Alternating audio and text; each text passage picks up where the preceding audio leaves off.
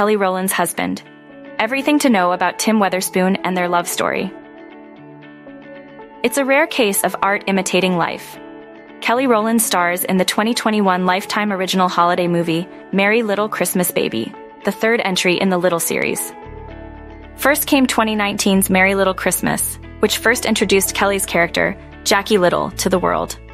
In 2020's Merry Liddle Christmas Wedding, Jacquie and Tyler, Thomas Cadrot, tried to pull off the perfect wedding, despite all the craziness from her boisterous family and a snooty wedding planner.